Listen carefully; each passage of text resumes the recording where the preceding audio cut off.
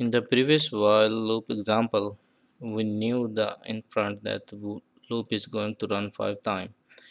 But if you are if you have a infinite number of repetition, uh, example, if you are reading data from the database or reading a file, you don't know upfront that uh, how many lines you are gonna read and how many times your while loop must run.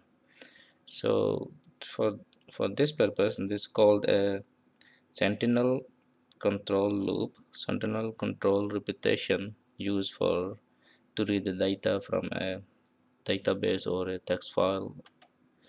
Now there I'm having these two variable total and the value.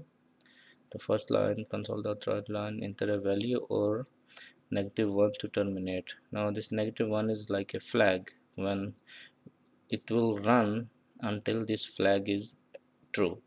So the while value is not equal to negative 1 just do that. And as we get the negative 1 it will terminate the loop.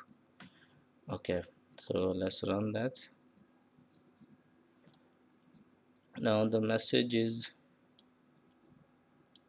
please enter a value or negative 1 to terminate. Um, giving a value 555 how many time I want? I can give the this value up to 100 time but I'm just giving a value 1 2 3 4 5 6 7 8 9 and 10 and if I press now negative 1 so it will terminate the loop and it will show the total.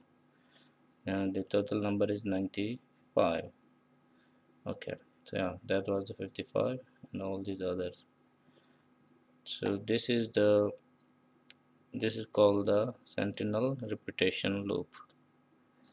You can run uh, infinite number of time and uh, whenever you want to stop the loop whenever you want to terminate the loop you need a one flag. This flag is activated it will terminate